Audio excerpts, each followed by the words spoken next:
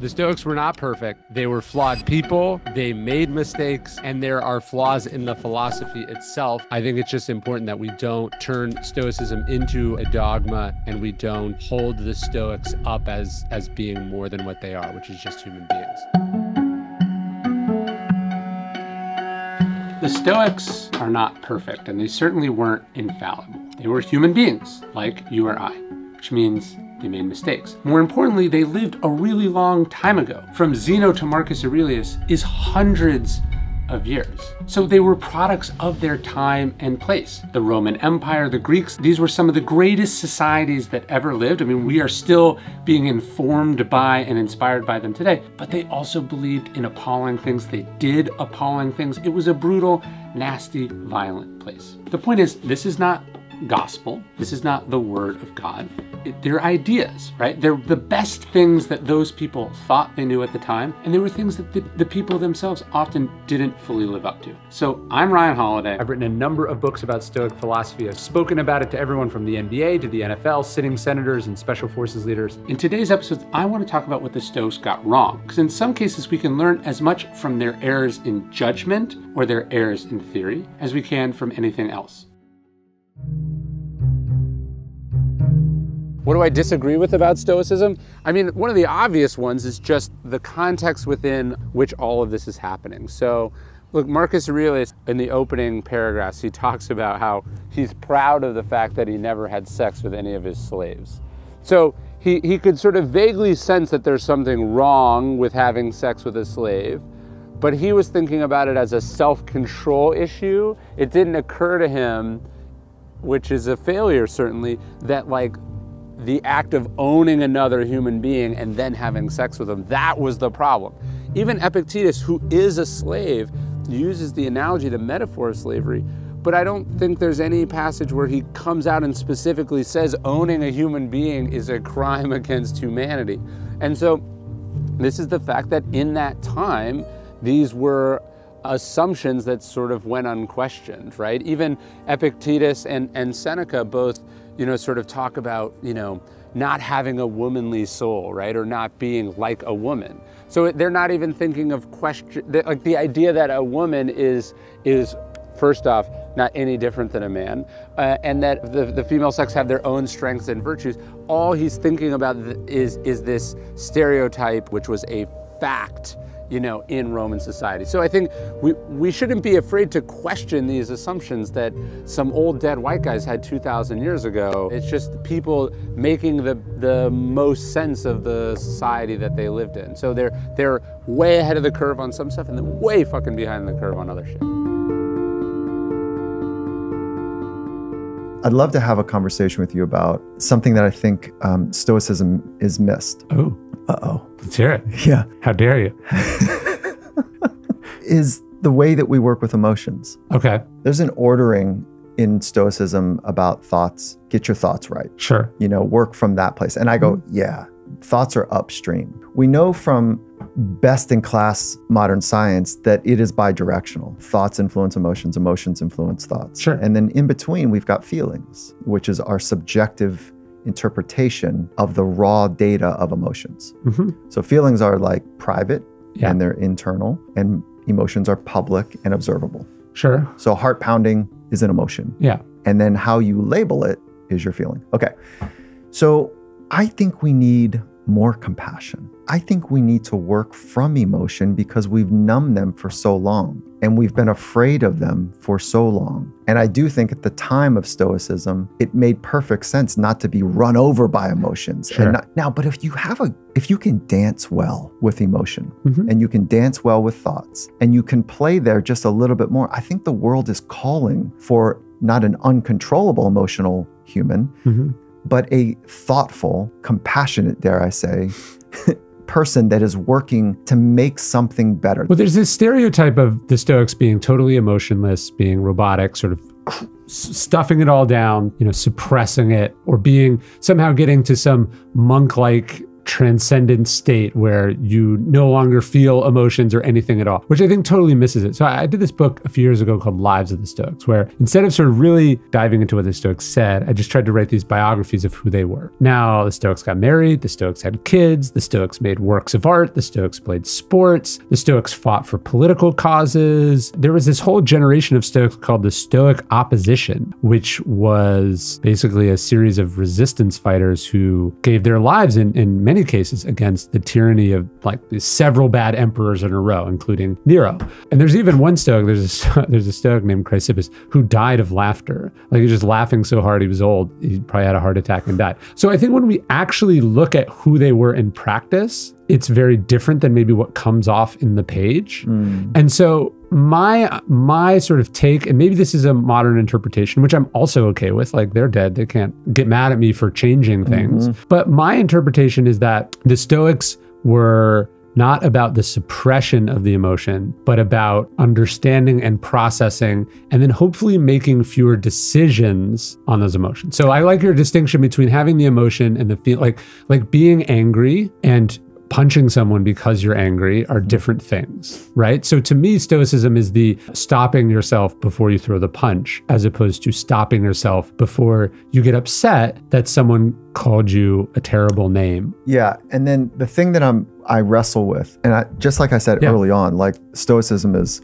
awesome. And I've been attracted to it. I wouldn't have thought this probably five years ago that, wait, we need more compassion. Agreed. So I, and then if you square it with relationship based, at Finding Mastery, that's, we're using that in our culture to be a relationship based organization as well. And to, to be in a relationship based organization, I need to know not only your thoughts, yeah. That's good. Mm-hmm. I need to know your history. Sure. I need to know the way you feel about your future and your history. And it's the feelings that allows for uh, the deeper knowing. I just want to ring the bell a little bit here about compassion's a really good thing in a world that is thrashing. Of course. And there's a vulnerability to be compassionate. So the cardinal Stoic virtues are courage, mm-hmm. which I think people associate with the Stoics. Then there's discipline, which people associate with the Stoics. Then there's wisdom, which people associate with the Stoics. But the fourth one, or which I guess would be the third, is the one I'm writing about now, which I think is less discussed, sort of skipped over, is the virtue of justice, which is where I would put things like compassion and empathy and fairness and kindness and caring about the world and trying to have a positive oh, impact. Oh, that's interesting. So, yeah. so it's like, it's not like it was this minor afterthought. Like a,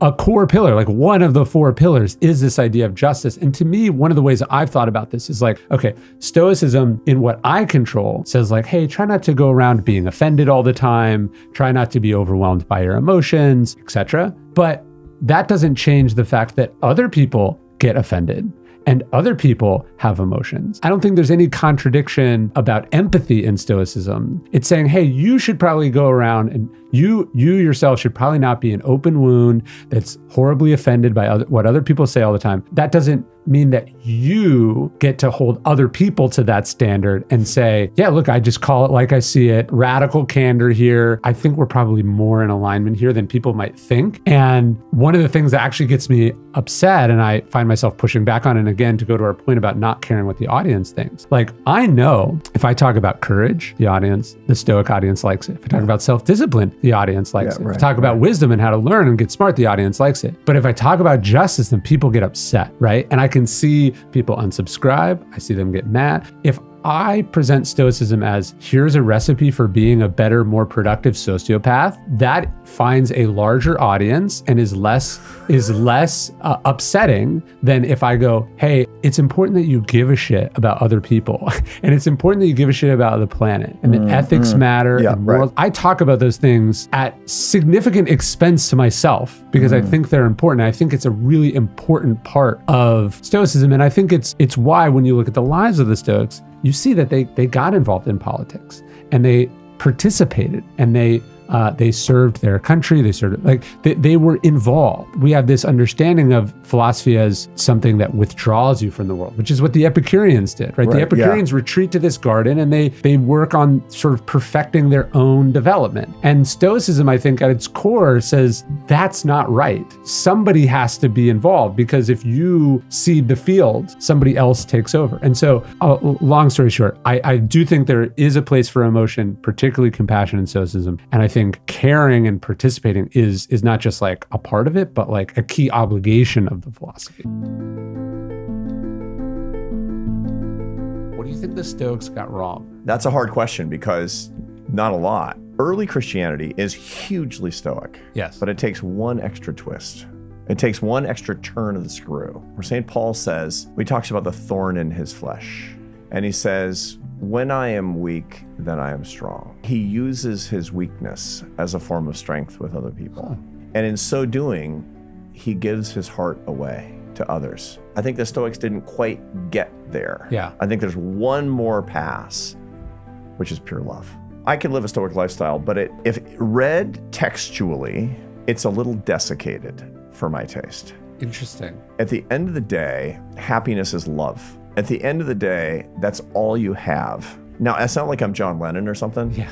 But but that's not what I mean. The habits of the happiest people fall into four categories: faith, family, friends, and work. Yeah. Right. And when I mean faith, I don't mean religious faith. Yeah. I don't necessarily mean my faith. I say I give people four examples when I'm talking to young people: study the Stoics, walk in nature before dawn, study the fugues of Johann Sebastian Bach, join a meditation group. Yeah. Or the fifth one is follow the faith of your youth, which in my case is Catholicism and it's the center of my life. Yeah. But the whole point is you need to transcend you. That's what faith actually means. Family, friends, which are relatively self-explanatory, although woefully under-practiced, and work, which is which is serving other people. The point is love of the divine, love of your family, love of your friends, and love of everybody is expressed through your work. That's the ultimate secret to it. Now, I know, I'm positive that Epictetus got this. How could you not? As a Well, as I don't know. I mean, do you know what I mean? Yeah, yeah, and and and, The and humility part of it. I'm sure Seneca did. I'm 100% sure Cicero did. I mean, he was writing this stuff for his son, Yeah. for his Pete's sake, whom he loved, right? Yeah. Here's how I'm, how I'm thinking about it. Life has two parts to be successful. To have a successful life, which means a happy life and a complete life. There's preparation and there's performance.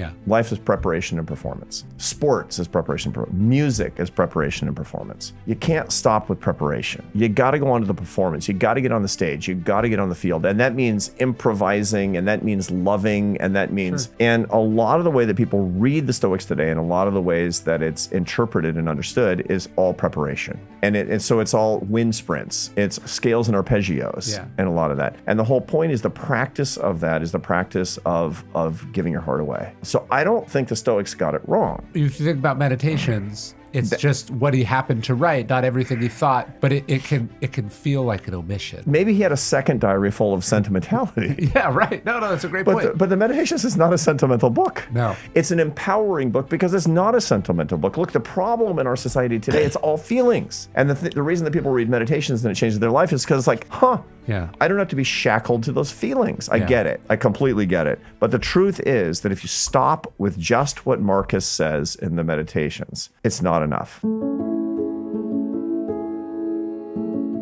Hey, it's Ryan. Real brief interruption here. I, I know interruptions can be a little annoying, but we couldn't make videos like this without our sponsor. And today's sponsor, Aura, has been sponsoring the Daily Stoic for a really long time now. Even though I make these videos, even though I'm on social media, for the most part, I'm a really private person. I don't like it when my data is out there, when my personal information is out there. The thing about Aura is that it's really easy to set up. Even I could do it, and you get all their services at one low, affordable price. Aura is always on doing the hard work of keeping you or me safe so we can focus on the work that we really want to do or just the videos that we really want to watch. Aura shows me what data brokers are selling my information and automatically submits opt-out requests on my behalf. You can go to aura.com slash daily stoic right now. That's A-U-R-A dot com slash daily stoic to sign up for a two-week free trial right now. And I'll also link to it down below in today's video description. But sign up for Aura, protect your info, and now let's get back to the video.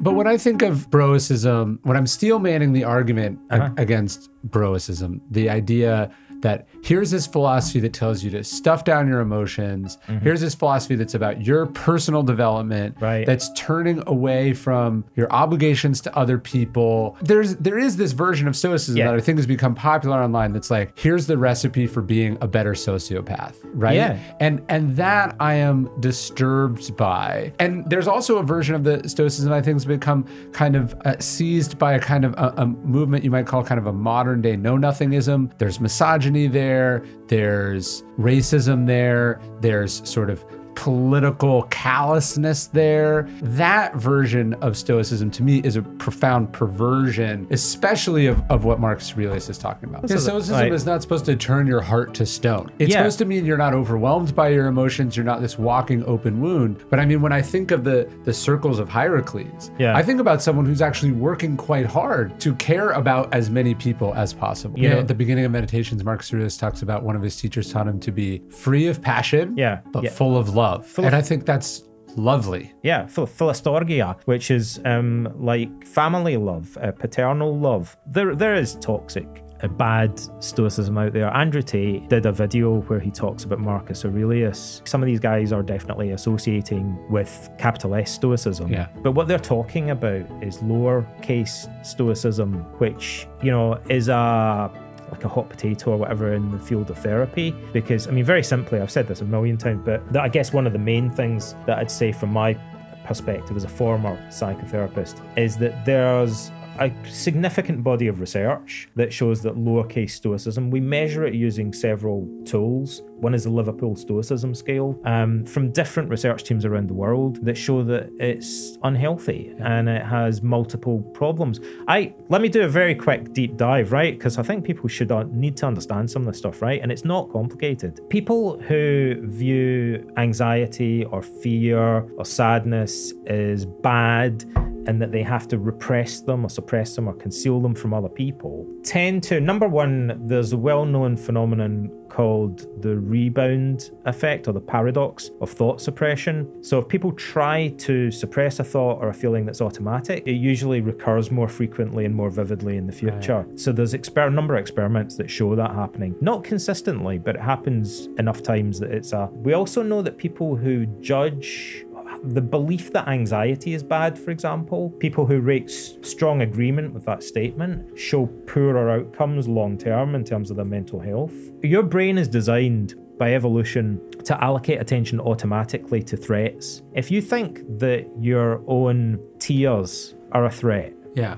like, if you think that your hands shaking is a threat, if you think that blushing is a threat, if you think that emotions or certain thoughts are a threat, your brain will allocate attention to them automatically. It will narrow its scope of attention down. Yeah. Uh, It'll give attention to them highly selectively. You'll get tunnel vision for them, and that will magnify them and exacerbate the effect that they have on your behavior. In addition to those problems, if you're focusing too much attention on coping with certain feelings rather than just accepting them and riding them out, increases cognitive load. So, for instance, somebody who has social anxiety, if they think, oh my God, having social anxiety means I'm weak, it means I'm not a real man, it means like I have to keep a poker face, I have to prevent other people from realizing that I'm scared inside because it's not manly enough or it's not tough enough or whatever. Yeah. I've got to stop people from seeing it. In addition to actually just magnifying it, in addition to making it more likely to recur in the future, it's confusing because it means you're using a lot of your brain power now. You're trying to walk and chew gum at the same time. Yeah, yeah. So try to have a conversation with somebody or give a wedding speech or something while also simultaneously worrying about and attempting to suppress and conceal Yeah. your anxiety,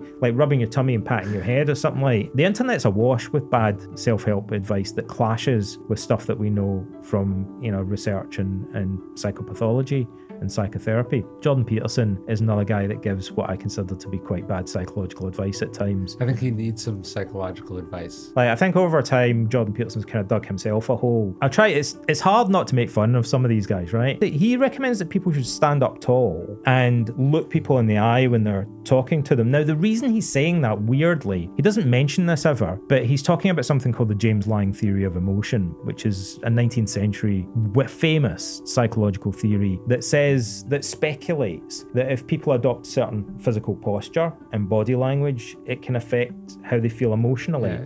And there's some Fake truth in that. Yeah, fake it till you make it. Like there's some truth in that. The problem is often we find in psychology there are things that there's some truth in that don't what the gold standard. This is my buy in CBT. Yeah. We love randomized control trials because psychology is full of things that look like they should work but don't. Yeah. So the James-Lange theory kind of looks like it should work. It sort of makes sense. There's some validity to it. It's not entirely true. However, it doesn't necessarily pan out like that in clinical trials when you get people to do it in practice. Why not? Because there's competing factors at play. And one of them is that if you try and stand up straight all the time and make eye contact with people, you increase self focused attention. Yeah, yeah, And yeah. we know that that's one of the main things that exacerbates social anxiety. Interesting. Andrew Tate's another one. You know, he'll tell people to do things to cope with their emotions, but he doesn't know anything about psychology. There are loads of other guys that are giving similar advice Yeah. and appeal to the same audience, right? They're the kind of watered down version of it. There, Andrew, there are 101 Andrew Tate lights, and it's easier to pick him because he's already to a large extent debunked his own reputation because of the criminal Well, what I see is is that audience exists, right? And you want to talk about the temptations of Seneca or any of these people. It's the same. It's the same fundamental thing, which is those people exist, and there's something that they would like to be told that they will compensate you for Yeah. telling them. What you have to decide as a writer, as a creative, as a personality is you go, am I going to pander to that audience? It's pandering. or am I going to say what I think is true and what's important? Am I going to do what's right?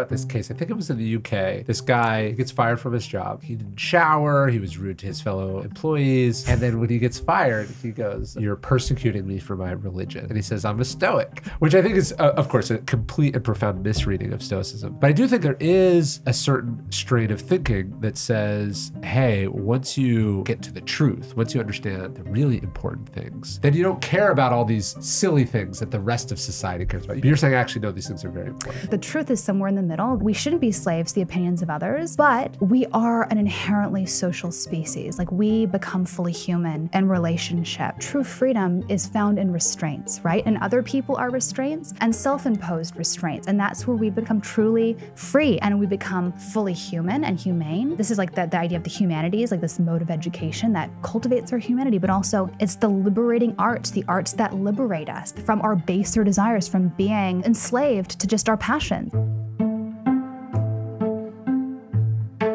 You shouldn't accept anything uncritically or unquestioningly. And we should look for the flaws in not just Stoicism, but we should look for what's good in other schools of philosophy to add or to supplement Stoicism. So, first off, uh, I, I love the impulse. And I would say that you're also right. Most of the critics of Stoicism tend to be these sort of straw man critiques. I'd prefer a steel man where, where someone's going, okay, here's what's good about Stoicism, here's where they're coming from, but here are the following weak points in the arguments. We could sort of put these into two categories. So, one would just be like, what are the assumptions of the time that are incorporated into Stoicism that are flawed? Slavery being one. There's a sort of a casual misogyny in the Stoics. You know, Marcus Aurelius is saying, what kind of soul do you have? Do you have a woman's soul? You know, he doesn't mean that in a complimentary way, right? So there's a kind of a, a, a casual racism, misogyny. You know, the the the Romans saw anyone who didn't speak Latin as being a barbarian. Baked into Stoicism is just the assumptions of the world 20 centuries ago that is not always correct, and in often cases is not correct. And then there's maybe a th- a- a second category. uh, Actually, I maybe say there's three. A second category would be the mistakes that the Stoics make. So Marcus Aurelius deciding to elevate his son Commodus to succeed him is obviously a catastrophic error. Cato's high mindedness uh, alienates Pompey and drives him into the arms of Julius Caesar. This is a major strategic error. There's a Stoic named uh, Rutilius Rufus who's who's brought up on these. He's a contemporary of Julius Caesar. I, I talk uh, uh, Caesar and Cicero. I talk about him in Lives of the Stoics. He is um, brought up on these fake corruption charges for which he's not guilty, and he believes that his duty as a Stoic is to not even defend himself. He just sort of quietly is martyred. He doesn't utter a sentence in his defense. This is probably a strategic error. Seneca working for Nero. This is another mistake that a Stoic makes. So, so we have the mistakes of the Romans at their time, which is incorporated into Stoicism, and then we have the mistakes of the Stoics themselves, which are many. And then I would argue we also have just some philosophical problems. I think the Stoics don't really talk anything about the idea of collective action. So they talk about whether something is in your control and what's not in your control. But if everyone only focused on the things that were in their control, we would never be able to pool our limited amounts of control, right, and change the world. So there is, and I think this leads back to those first two things. There is a certain amount of resignation to the Stoics in the face of injustices or flawed systems or uh, inequality. Even you could say like the the plague or any any type of problem. I don't see in Stoicism much in the way of a robust toolkit for solving the problems of society or moving the ball forward or creating progress. So I think that's one. You know, I think the Stoics flirt very close to the idea of predestination or or a sort of a determinism that I don't exactly buy either. So I think there's a number of flaws with the philosophy itself, but I, I, guess we could talk about this for hours. The Stoics were not perfect. They were flawed people. They made mistakes, and there are flaws in the philosophy itself. What those are going to jump out differently to different people. I think it's just important that we don't uh, turn Stoicism into a, a dogma, and we don't hold the Stoics up as as being more than what they are, which is just human beings. When I wrote The Daily Stoic eight years ago, I had this crazy idea that I would just keep it going. The book was 366 meditations, but I'd write one more every single day and I'd give it away for free as an email. I thought maybe a few people would sign up. Couldn't have even comprehended a future in which three quarters of a million people would get this email every single day and would for almost a decade. If you want to get the email, if you want to be part of a community that is the largest group of Stoics ever assembled in human history, I'd love for you to join us. You can sign up and get the email totally for free, no spam. You can unsubscribe whenever you want at dailystoic.com slash email.